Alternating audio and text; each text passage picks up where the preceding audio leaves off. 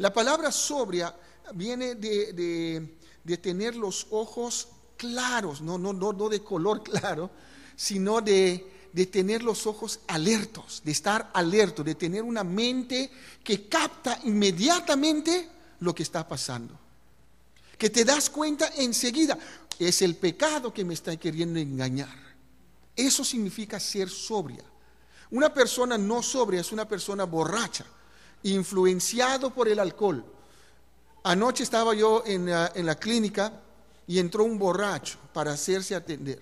Después hizo todo un lío porque dice que él dio un papel a una enfermera y esa enfermera agarró su papel. Y con eso quedó. Tuvieron que llamar a la policía, todas las cosas. ¿Por qué? Porque no estaba sobria.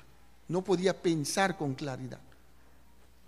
Y cuando nosotros en la vida cristiana no estamos sobrios, caemos en la trampa del pecado.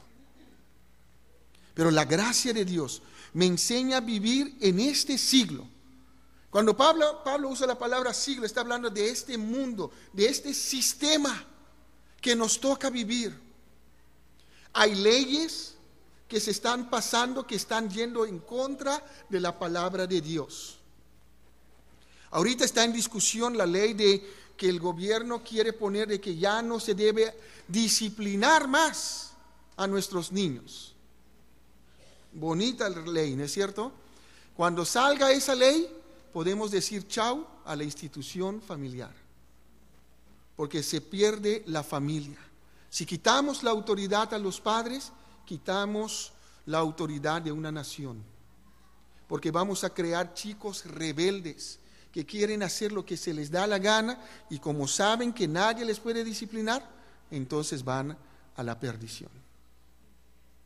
Entonces tenemos que orar para que la ley sea más específico, para que la ley condene a los abusadores, pero no a los padres que quieren disciplinar. Pero ¿qué voy a hacer yo? La ley de Dios me enseña diferente que la ley del país.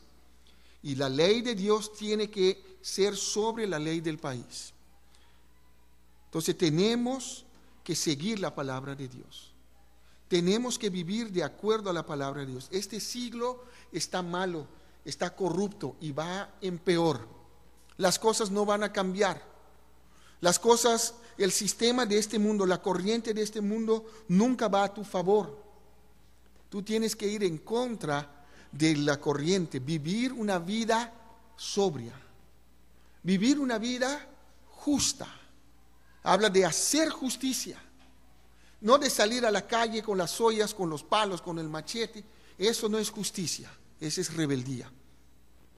Sino de hacer las cosas justas como Dios pide. Dios nos pide amar a nuestros enemigos, entonces voy a hacer lo que es justo. Dios nos pide amar al que nos ofende, entonces voy a hacerlo. Porque la gracia de Dios me enseña y me capacita para poder amar y tratar bien a las personas. La gracia de Dios me enseña a ser justo en obedecer las leyes, en no quebrantar las leyes, siempre y cuando no van en contra de la palabra de Dios. Eso es lo que hace la gracia. Pero también dice, la gracia me enseña a vivir piadosa. Y esa palabra piadosa es la palabra piedad. Y tiene que ver con la vida cristiana, la vida espiritual. La gracia de Dios me ayuda a madurar espiritualmente. Pero primero la gracia me tiene que enseñar a renunciar para poder enseñarme lo que es la vida de Dios dentro de mí. Y de esa vida de piedad, Pablo tiene mucho que decir en, en diferentes de sus cartas. Pero también la gracia de Dios, en cuarto lugar, me enseña a aguardar la venida de nuestro Señor Jesús.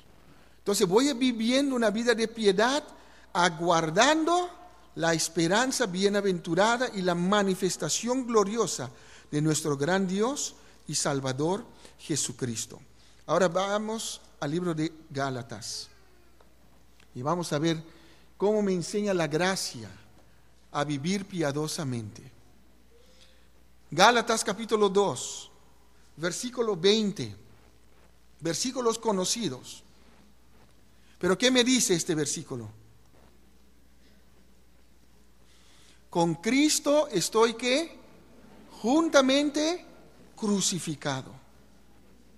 Y ya no vivo yo, mas vive Cristo en mí. Y lo que ahora vivo en la carne, lo vivo en la fe del Hijo de Dios, el cual me amó y se entregó a sí mismo por mí. Con Cristo estoy juntamente crucificado. ¿Quién fue crucificado con Cristo? Tú, yo. Allí en esa cruz, nosotros fuimos crucificados con Él. Pablo dice, el viejo hombre fue crucificado con sus hechos pecaminosos. El viejo hombre fue crucificado, Dios lo quitó de nosotros y nos ha dado un nuevo hombre. De modo que si alguno está en Cristo, ¿qué? Nueva criatura es. Dios nos ha hecho nuevos. Con Cristo estoy juntamente crucificado. Cuando habla de crucifixión está hablando de qué? De muerte. Anterior en Efesios, antes de conocer a Cristo, el hombre está muerto en sus delitos y pecados. Ahora en Cristo el hombre está muerto al pecado. Porque me he, sido crucificado con Cristo. Y ya no vivo yo, mas vive Cristo en mí. Esa es la verdad de la vida piadosa. No lo tienes que vivir tú en tu propia fuerza, es Cristo en ti, Cristo en mí. Cristo ahora vive en mí. Y esa es la, seguridad del creyente. Esa es la diferencia de una persona con Cristo y una persona sin Cristo. Que Cristo ahora vive en mí. Desde el momento que creí en Él, desde el momento que acepté su sacrificio por mis pecados, Cristo mora, vive en mí. Y Pablo dice, ahora lo que yo vivo, ya no voy a vivir una vida de pecado, ya no voy a vivir una vida esclavizado, ahora voy a vivir una vida de fe, una vida de gracia. La gracia me enseña a vivir piadosamente. Esa es la gracia de Dios. No termina en en la salvación. No terminó su gracia allí o quedó solamente alrededor de la cruz. La gracia va más allá. Me ayuda, me enseña a renunciar a la impiedad y a los deseos mundanos, pero también me enseña a vivir justa, sobria, piadosamente. Pablo dice, lo que ahora vivo en la carne, lo vivo en la fe del Hijo de Dios. Es decir, mi vida ahora tiene que ser conforme a Cristo, porque es Cristo que vive en mí. Significa que lo que yo pienso, que lo que yo hago, lo que yo quiero hacer, tiene que ser conforme a Cristo. Si no, no estoy viviendo bajo la gracia de Dios. Si no, no es Cristo que está viviendo en mí. Y ahí es donde fallamos. Ahí es donde nos falta la madurez espiritual, crecer en conocer a Cristo que Dios ha puesto a Cristo dentro de mí para ayudarme a vivir la vida cristiana. Y no tengo que inventar, no tengo que, buscar cómo voy a vivir una vida para agradar a Dios. Es Cristo viviendo la vida de Dios a través de mí, en mí, y yo colaborando con Él. ¿Por qué? Porque yo fui crucificado con Cristo, estoy muerto al pecado. Y Pablo dice, no debemos volver a la esclavitud. Mira en Gálatas capítulo 5, versículo 16. Digo pues que andad en el Espíritu. ¿Cuál es la orden? Andad en el Espíritu. No solamente tener el, el, conocimiento de que Cristo vive en mí, Cristo quiere vivir su vida a través de mí, sino que yo tengo que andar en el Espíritu. Andad en el Espíritu y no satisfagáis los deseos de la carne. Entonces, ¿quién satisface los deseos de la carne en mí? ¿Ah? Yo mismo. Tú mismo. ¿Vieron? La responsabilidad cae sobre nosotros. Tú decides molestarte, tú decides ofenderte, tú decides gritar, tú decides hablar lisura, tú decides ir al pecado. No es Satanás. Satanás no tiene decisión sobre ti.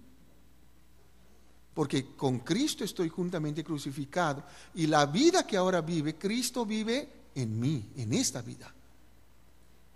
Entonces tú y yo escogemos mal, determinamos mal elegimos mal. Digo pues, andad en el Espíritu y no satisfagáis los deseos de la carne. ¿Por qué? Porque el deseo de la carne es contra el Espíritu. Y el deseo del Espíritu es contra la carne. Y estos se oponen entre sí para que no hagáis lo que quisierais. Entonces el deseo de la carne está totalmente en contra de los deseos del Espíritu. La vida de Cristo, la nueva vida en Cristo, la nueva vida que Cristo quiere vivir en mí es totalmente diferente a la vida de la carne, del pecado. Y Dios lo ha hecho así para que nunca podamos mezclar estas dos cosas. Pero si sois guiados por el Espíritu, no estáis bajo la ley. Ahora mira el versículo 19. Manifiestas son qué? Las obras de la carne. ¿Cómo son? ¿Cómo puedo saber que yo estoy viviendo en la carne? Ahí está la lista. Adulterio. Cuando vives en adulterio, estás viviendo en la carne, no bajo el Espíritu. Eso no es la obra del Espíritu. Eso no es el deseo de Cristo. Eso no es la vida de piedad. Fornicación, inmundicia, lascivia, todo lo que tiene que ver con actos inmorales, pensamientos inmorales, deseos, acciones inmorales, no tiene nada que ver con el cristiano, con el Espíritu de Dios. Es totalmente contrario. ¿Qué más es contrario, contrario al Espíritu? Idolatría el adorar ídolos, el tener mi santito por ahí, el de confiar, el de mirar, el de persinar. Cuando cada vez que uno pasa, persina. ¿Por qué? No es del Espíritu, no es de la vida de piedad. Son ideas, hechicerías. Voy al chamán para ver quién me está tratando de hacer maldad. Busco en la Biblia y no encuentro el nombre, pero el chamán sí sabe. Quiero saber del futuro, horóscopo, periódico. Hoy día vas a encontrar una persona que te va a tratar muy bonito. Este puede ser tu día. ¡Ay, qué lindo! Y nadie te trató bonito ese día. Pero voy poniendo mi confianza en estas cosas. Enemistades. El de vivir en enemistad el de odiar a personas, el de ir en contra de lo que Dios me pide.